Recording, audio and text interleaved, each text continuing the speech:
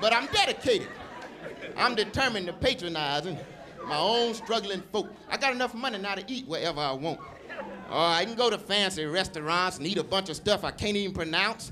Got to point to it on the menu to keep from embarrassing myself. I can go to fancy restaurants where the waitresses walk up to the table and respect you. Ask, what would you like, sir? But that ain't where I choose to go. I go to the little old broke down, struggling, family owned soul food restaurant where they treat you. That's where I go. Where they treat you like you ain't worth a damn. Like they really don't even want you in the damn place. Where the waitress just walk up to the table and stand there and look at you. You don't say nothing. You got about 30 seconds to order something, she just walk off. You must not want a damn thing. You know what you brought yourself into. That's where I choose to go. And I don't go being quiet.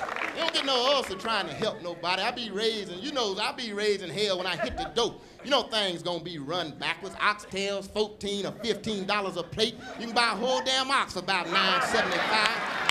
I be raising hell asking questions like, how come it ain't no screen on the screen door?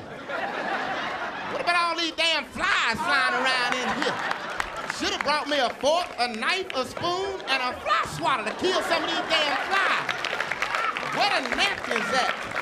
Where the rest of the tablecloths at? What's all this sticky stuff on the damn table? How come my table won't be still? How come my chair wobbling? I got to balance myself up here. These days hard chicken. Why is the cook and the waitress putting the food on my plate with our hands? You got no utensils in this damn place? Why don't somebody sweep them cobwebs down off the wall? Ceiling tiles at? Where the light bulbs and the lampshades at?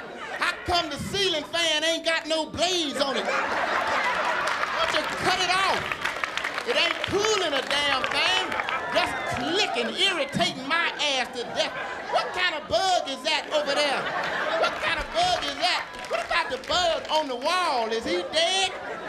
Just sweep his dead ass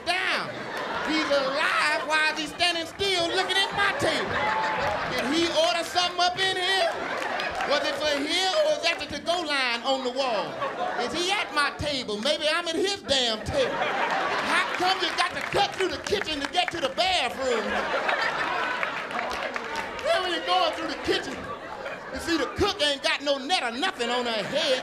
That's the dish rag wrapped around her sweaty neck. Her teeth sitting on the side of the pot.